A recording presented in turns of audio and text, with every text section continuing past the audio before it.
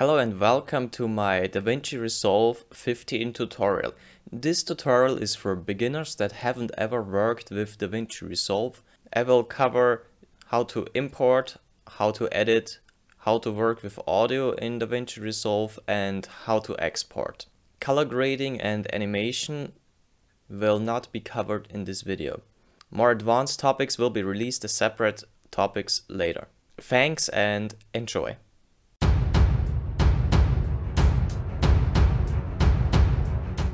When you open Resolve, you will be greeted by the Projects tab. And in the case that it is the first time opening it, there will only be this untitled project. So what we have to do is open a new project and name it, in my case, I just name it demonstration. The start page of DaVinci Resolve is by default the edit tab. The name already implies that this tab is used to edit video, but it has one shortcoming. It, it isn't very good to organize media. For this you need to go to the media tab where you can import media to your project. All you need to do here is to maneuver to the uh, folder where you save all of your raw material for your videos and open it and in my case it is data drive D and I will just open an old project to demonstrate. I did a video quality comparison between two cameras quite recently so I'm just going to take two of those clips and drag them into my media pool. That's this area here. I'm now going to drag and drop the two clips that I wanted. And you will get a prompt that is going to ask you if you want to change the frame rate of your project. Once you have done this, you can't undo it. The only way to undo it is to delete all the media in the in the pool, so in the media pool, and start over. Once you actually have some active media, on your timeline, there's no way you can change it later in export after you're done editing. So think about what you need right now and not later. I'm gonna import two different clips, one from a smartphone in 30 frames per second. The addition, the info about the clip is here on the right. It shows here 30 frames per second, 1080p, two channel audio, and the other one is a 25 come on. The other one is a 25 frames per second clip also in 1080p two channel audio but from a DSLR and I did a comparison between those two but it doesn't matter right now. So once you've imported your clips that you want to edit then you need to head over to the edit tab where you already started and you now either create a timeline with right click and create new timeline or you just drag and drop your clips to your timeline. Since this is a relatively short clip, it automatically gives me the waveform here. If the clip is a bit longer or a bit bigger, it's gonna take a while till that waveform is created, especially if you have multiple audio channels. So since I, do I don't want to show how my desk looks like, because it always looks dirty. I'm just going to search for the part where you can actually see me and not my desk anymore. And as you can see here, so this is about where I'm then going to start talking. Here the light is already pretty nice, so I go to edit mode or razor edit mode. I either click here or press B and what this does is it separates clips on the point where you want to separate them. So click, click.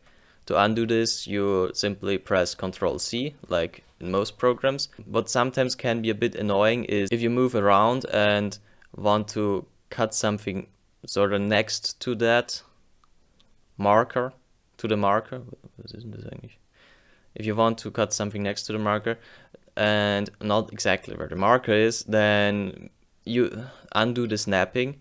I mean, it's a nice magnet sign. It's a nice magnet sign. So now you can also do cuts right next to where you're situated in your timeline. But I usually recommend keeping that tool on because it's actually helpful. So I cut this part out and I don't want to use it. So I want to get rid of it. And what I can do now is I can just click on it and hit delete. And it will automatically get rid of it and replace it. There are other options too. You can right click, you can just delete and it will leave a blank. Or you can press ripple delete which basically is the same as uh, pressing delete or use the keyboard and press backspace. So I'm gonna just click on it, press delete and it's deleted. So I want to have a nice fade into my video so you can either use this little handy tool here and create the fade. What you see here is not seconds, it's frames. And at 30 it switches to 1. That's the best indication on how to spot frames versus seconds. The same thing goes for the audio here.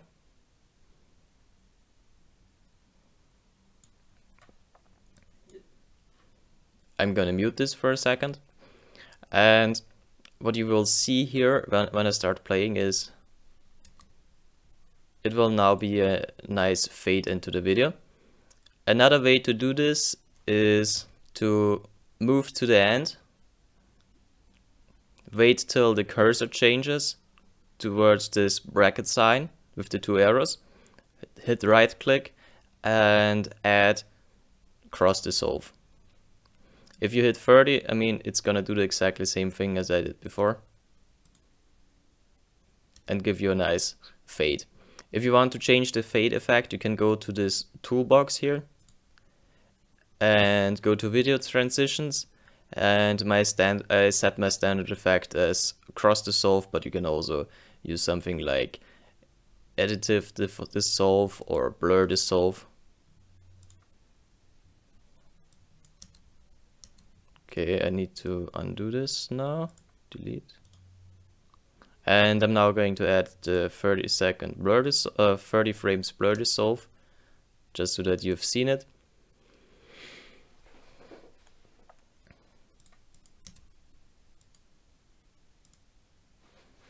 Not really a fan of this one. I really like the cross dissolve, but you have a couple of different effects that you can apply here. You can play around with those effects. I'm personally a, a fan of the cross dissolve part. Now at the end I'm gonna do the same thing. I'm done talking here. I'm gonna switch razor mode with B and switch back to selection mode with A or click here and delete this one and add the other one, the other clip that I have. Switch again to edit mode with B. Cut here, switch to select mode with A again, delete this part, add a cross dissolve here, then I realize, hey, yeah, at the end there's more unnecessary stuff left where I turned off the camera. I cut it off and delete it and add another dissolve in the end.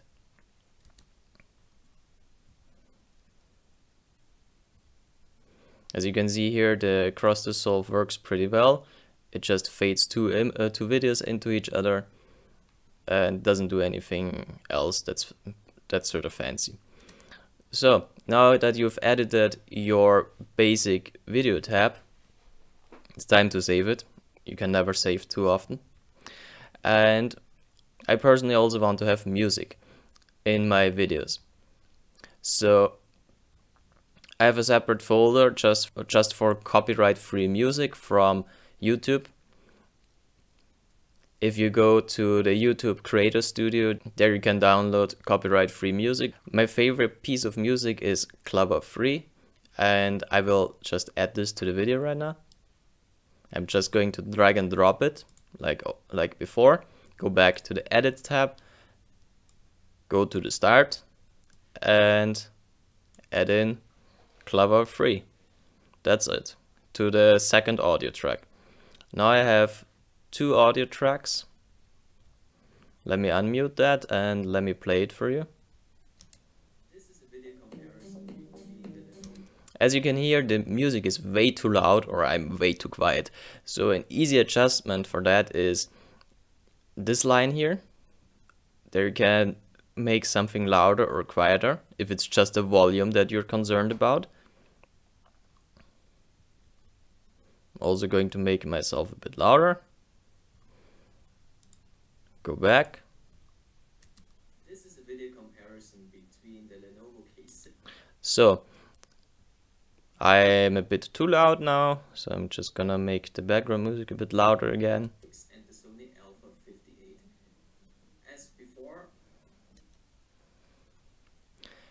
So now that I think, hey, yeah, it's actually working pretty well, I go to the second clip, adjust that one.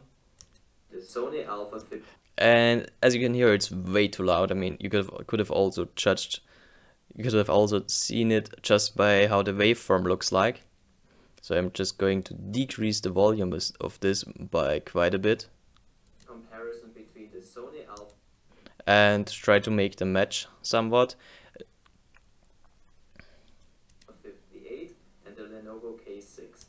As you can hear, that, that clip also has some pretty bad background noise, but I can't do anything about that one right now. The video is over at 36 seconds, but the music doesn't stop here. So we also need to shorten the music clip and as usual just use the razor mode and then the selection mode and delete it. Now that we're done with a very basic edit, we can now go over to the Fairlight tab where we can do more advanced audio. And what you usually have to do is go to the right and expand this. I don't know why this isn't expanded by default, but I guess it's because if you have 99 tracks or something like that, it's gonna be a pain. Sorry, didn't want to do that. What we did before was to adjust one clip by one. If you now have, as an example, 20 different clips from the same source and they're all too loud or too quiet and you put them all in the same uh, track, like audio 1 or audio 2, then you can simply adjust the volume of audio 1 or audio 2, which is way easier than adjusting each clip for, for itself. Here in Resolve in Fairlight, in the audio tab, you have some very basic audio editing possibilities. And I personally would start with making your waveform bigger so that you can actually see what you're doing instead of just listening to what you're doing. You have basic equalizer settings where you can where you can adjust your EQ like in any other audio program. I'm not gonna explain this how this works, just going to point out it's there. You have basic dynamics settings where you can have, add a an expander, a gate, a compressor, or a limiter, which is very handy. The other big advantage is you can adjust volume on the fly while playing it so that you can hear better how it would fit together. Because in the edit tab you can't adjust and play at the same time. As you can see, it's locked. Now let's go back to Fairlight. And since there is nothing else to do for us, we can go to the deliver page where you can export our video. On the left top, we have different presets like YouTube, Vimeo, Final Cut, Adobe Premiere. And usually what I recommend is using custom and as a format depending on where you want to upload I usually recommend MP4 H.264 codec but there's no other option anyways and now you can adjust your resolution you can also add a custom resolution let's say I want to export this as a 1080p video to YouTube. I can set my resolution here to 1080p. Frame rate is locked at 30 because like we said before, we can't change that. Once we have put clips into our timeline. The quality we can set to best, high, medium, low and least. And in my experience, as long as you're not shooting anything in 4K, the highest you should go is high. Best is not going to give you any advantage, it's just gonna make your file sizes bigger. Medium, I usually can't spot the difference between medium and high. Low sometimes, depending on the quality, looks a bit grainy, at least I wouldn't recommend. Or you just limit the bitrate.